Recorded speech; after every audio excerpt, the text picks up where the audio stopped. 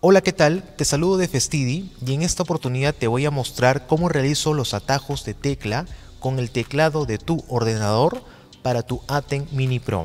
Muchas veces vamos a ver que necesitamos en algunos momentos realizar atajos de teclas con el CUT directo apretando en cada una de las fuentes del Aten Mini Pro. En este caso, lo normal es realizar la configuración en el Aten Software Control de esta manera. Nos dirigimos en Archivo, luego en Conexión, en Atem Setup y aquí en esta primera le damos un clic. Luego aquí en esta opción le colocamos en Cat Bus y colocamos Save. De esta manera, si nos dirigimos en el Atem Mini Pro, tenemos directamente al programa, al aire, cuando apretamos cualquiera de las seis fuentes que tenemos en el Atem Mini Pro, ¿cierto?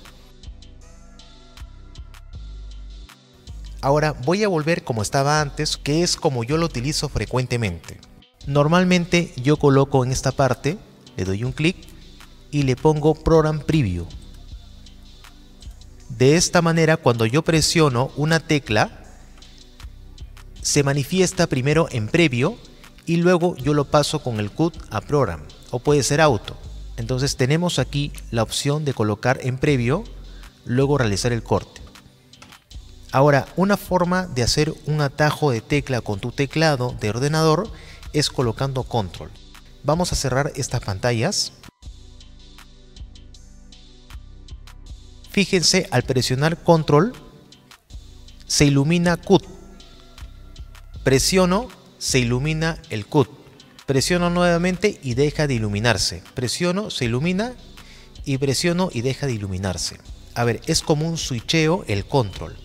Presiono una vez el control nuevamente, está iluminado el CUT y fíjense al colocar en el teclado como en el program, como pueden ver en el Atem Software Control y también en el Atem Mini Pro, automáticamente se dirige al program.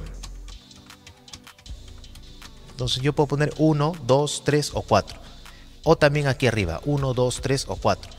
Si yo coloco aquí control, inhabilito esa opción y solamente se dirige al previo. Aquí también igual.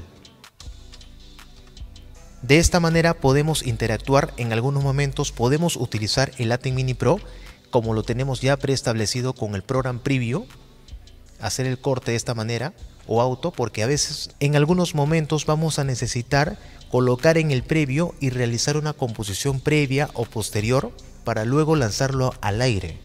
Entonces para eso vamos a utilizar la parte del Latin Mini Pro.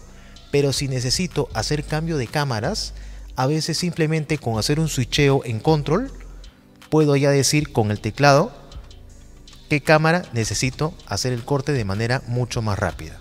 Si te gustó el video, te invito a darle un like y te suscribas a este canal.